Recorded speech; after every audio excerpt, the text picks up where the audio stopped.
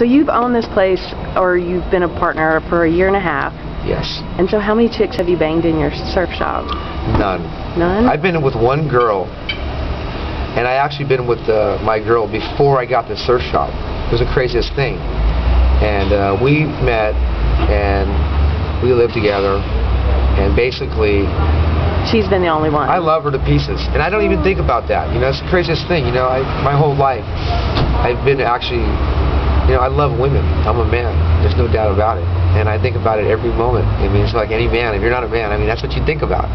But I think about my girlfriend. I just love her to pieces. You know, last night we had date night. We went to County Line. We watched the surfers. We hung out in my van.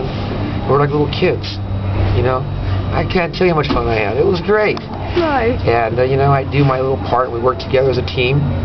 And, you know, when I first took her over to the shop, she's like, uh, I mean, she was like, I didn't know either. We're both kind of like in shock about this thing.